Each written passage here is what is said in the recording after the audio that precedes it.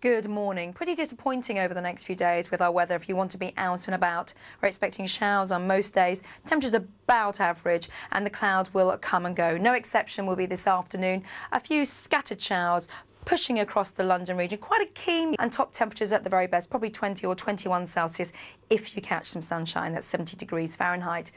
Now those showers will tend to die away overnight, leaving some starry skies. The winds will ease as well. A bit of a chilly night, particularly in the six, leading into a clear start to tomorrow morning. You should see some sunshine, but the cloud again will build quite quickly. And again, there's a risk of some showers moving in, particularly through the afternoon. So a scattered affair, top temperatures during the afternoon, probably no higher than around 18 or 19 Celsius. So a slightly cooler day on the cards, and again, quite a brisk breeze.